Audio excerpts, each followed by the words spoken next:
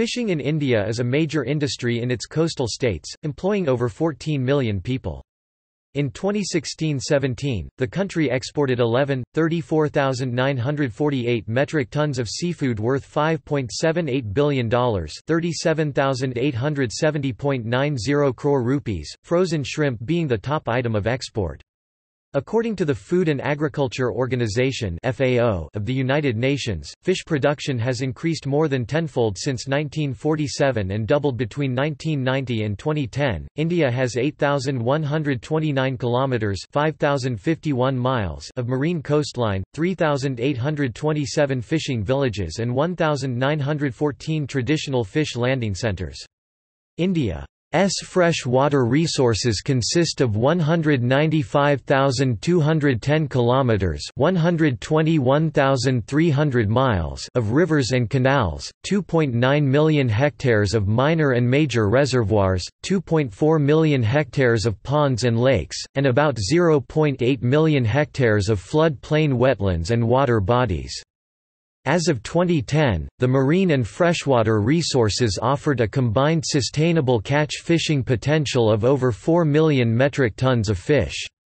In addition, India's water and natural resources offer a tenfold growth potential in aquaculture, farm fishing from 2010 harvest levels of 3.9 million metric tons of fish, if India were to adopt fishing knowledge, regulatory reforms and sustainability policies. Topic: History. Topic: Historical texts like Kautilya's Arthashastra 321 to 300 BC and King Someswara's Manasollasa 1127 AD refer to fish culture. For centuries, India has had a traditional practice of fish culture in small ponds. Significant advances in productivity were made in the early 19th century with the controlled breeding of carp in tanks where river conditions are simulated.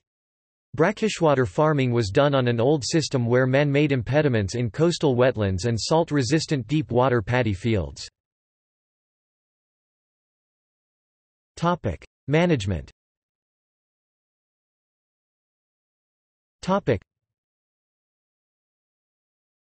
Topic. Economic benefits Fishing in India contributed over 1% of India's annual gross domestic product in 2008. Fishing in India employs about 14.5 million people. To harvest the economic benefits from fishing, India has adopted exclusive economic zone, stretching 200 nautical miles 370 kilometers into the Indian Ocean, encompasses more than 2 million square kilometers. In addition to this marine zone, India has about 14,000 square kilometers of brackish water available for aquaculture, about 16,000 square kilometers of freshwater lakes, ponds, and swamps, and nearly 64,000 kilometers of rivers and streams. In 1990, there were 1.7 million full-time fishermen, 1.3 million part-time fishermen, and 2.3 million occasional fishermen, many of whom worked as saltmakers, ferrymen, or seamen, or operated boats for hire. In the early 1990s, the fishing fleet consisted of 180,000 traditional craft powered by sails or oars, 26,000 motorized traditional craft, and some 34,000 mechanized boats. Fish production rose from 800,000 tons in FY 1950 to 4.1 million tons in the early 1990s.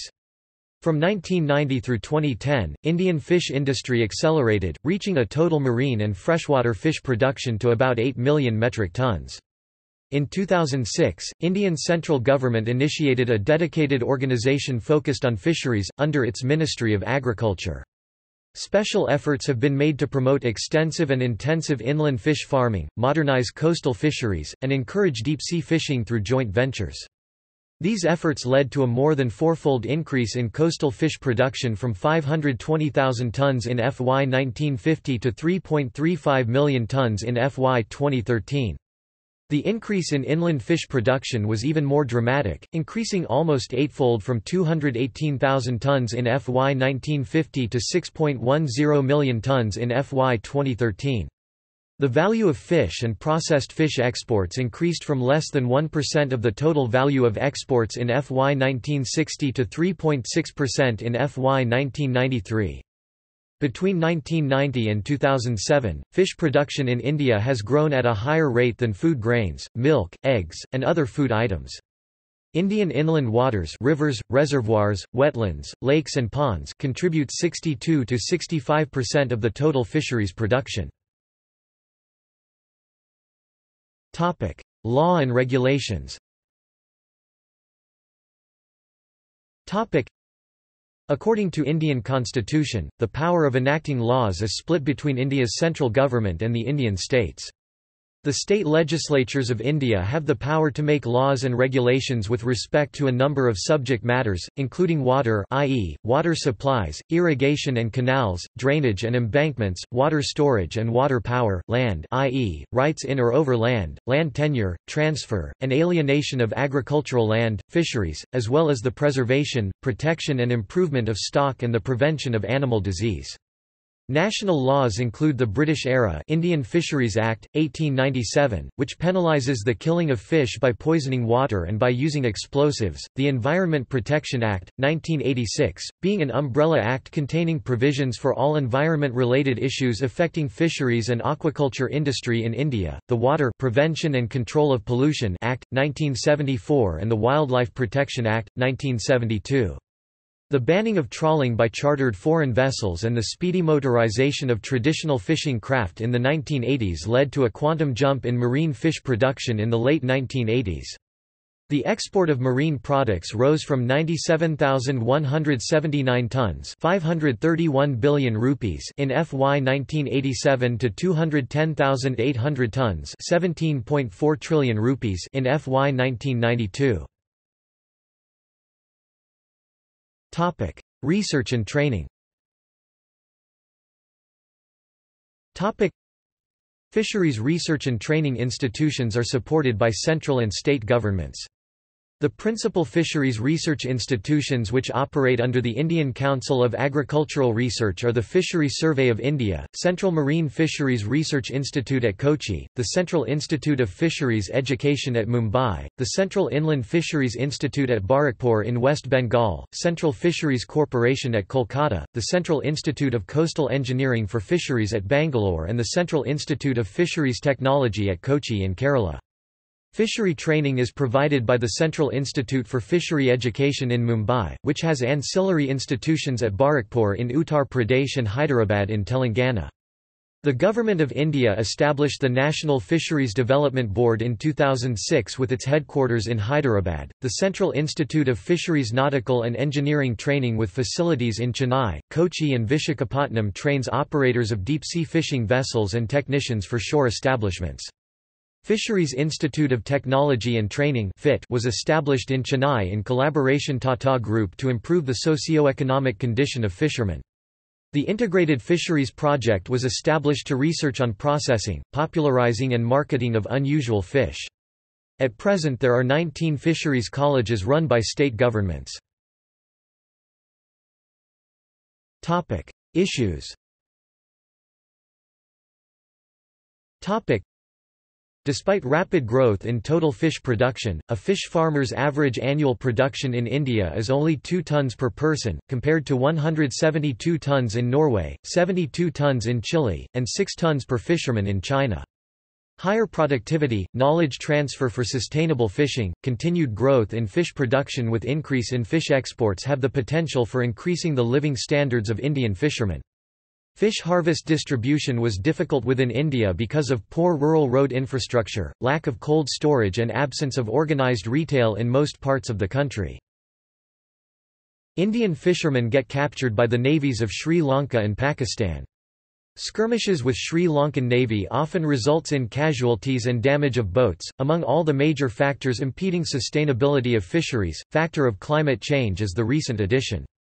Climate change trends along major river basins of India have revealed a warming trend 0.2 to 0.5 degrees Celsius, declining rainfall 257 to 580 mm and shifting seasonality of rainfall occurrence.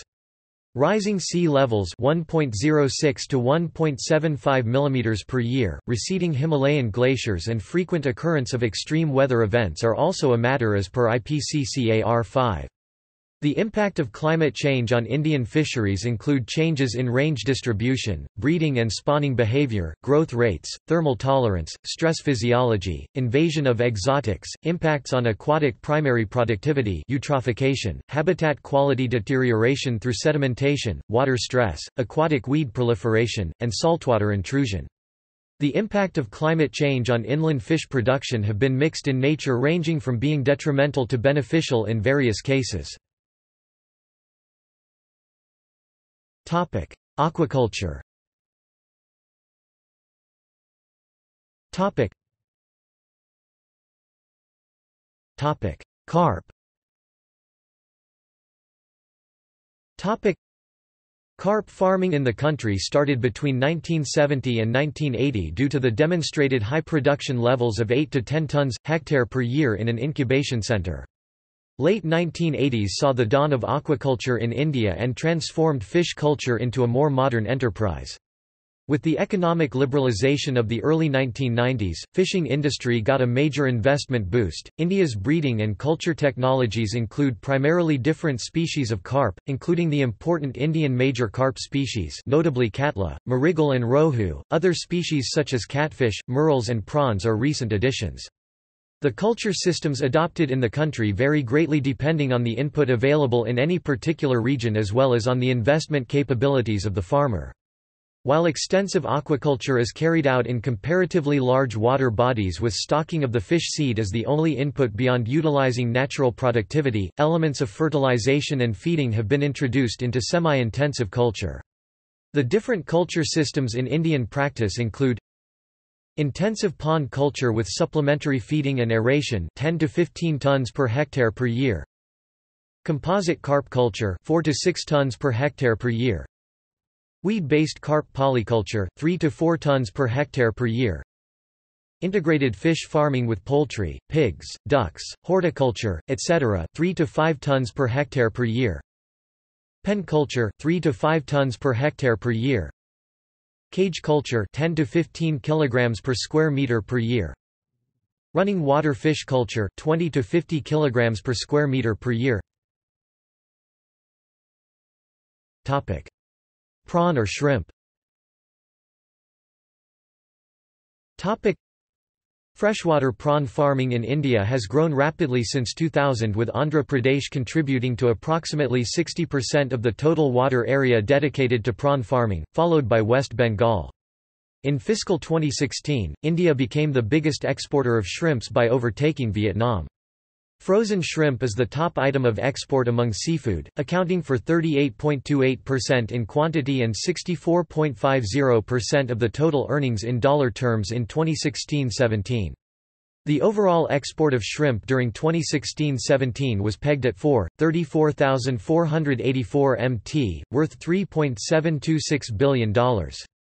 USA was the largest import market for frozen shrimp 1, 65,827 mt, followed by the European Union EU 77,178 mt, Southeast Asia 1, 05, 763 mt, Japan 31,284 mt, Middle East 19,554 mt, China 7,818 mt and other countries 27,063 mt. Shrimp exports from India are expected to nearly double to $7 billion by 2022, driven by strong demand, high quality, improved product mix, and an increase in aquaculture area in Andhra Pradesh, Gujarat, Odisha and West Bengal. The giant tiger prawn is the dominant species chosen for aquaculture, followed by the Indian white prawn and Pacific white shrimp. In 2015-16, West Bengal 61,998 mt was the largest producer of tiger shrimp for export, followed by Odisha 9,191 mt. Andhra Pradesh 2, 95,332 mt was the largest producer of Pacific white shrimp. Topic: Freshwater aquaculture Freshwater aquaculture accounts for nearly 55% of the total fish production in India. Aquaculture resources in India include 2.36 million hectares of ponds and tanks, 1.07 million hectares of beels, jheels and derelict waters plus in addition 0.12 million kilometers of canals, 3.15 million hectares of reservoirs and 0.72 million hectares of upland lakes that could be utilized for aquaculture purposes. Ponds and tanks are the prime resources for freshwater aquaculture in India. However, less than 10% of India's natural potential is used for aquaculture currently. For bringing more areas under scientific fisheries and aquaculture, the Indian government and premier fisheries research institutes are trying hard to sensitize the fish farmers and entrepreneurs regarding the package of practices and prospects of the highly promising culture-based fisheries technology (CBF) in inland waters. Utilization of untapped inland waters through CBF is one of the foremost strategies for achieving blue revolution. CBF is generally practiced in inland waters having areas between 100 and 1000 hectares, lakes, wetlands and small reservoirs, and cautiously in 1000 to 5000 hectares, medium-sized reservoirs. Topic: Brackish-water aquaculture. The FAO of the United Nations estimates that about 1.2 million hectares of potential brackish-water area available in India is suitable for farming. In addition to this, around 8.5 million hectares of salt-affected areas are also available, of which about 2.6 million hectares could be exclusively utilized for aquaculture due to the unsuitability of these resources for other agriculture-based activities.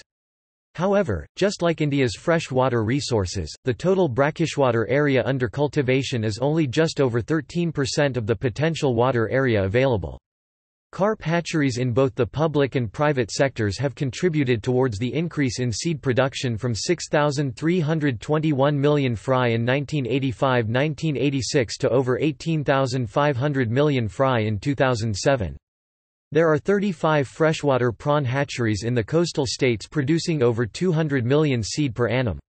Furthermore, the 237 shrimp hatcheries with a production capacity of approximately 11.425 billion post-larvae per year are meeting the seed requirement of the brackish water shrimp farming sector. Distribution there are five main fishing harbours at Mangalore Karnataka, Kochi Kerala, Chennai Tamil Nadu, Vishakhapatnam Andhra Pradesh and Raichak in Kolkata West Bengal. 23 minor fishing harbours and 95 fish landing centres are designated to provide landing and berthing facilities to fishing craft. The table below presents the top 10 fish harvesting states in India, for the 2007–2008 agriculture year. In 2008, India was the third largest producer of marine and freshwater capture fisheries, and the second largest aquaculture farmed fish producer in the world. References.